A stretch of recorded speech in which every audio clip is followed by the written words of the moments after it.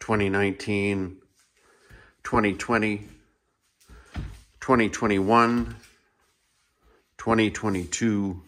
Are you ready for deer camp?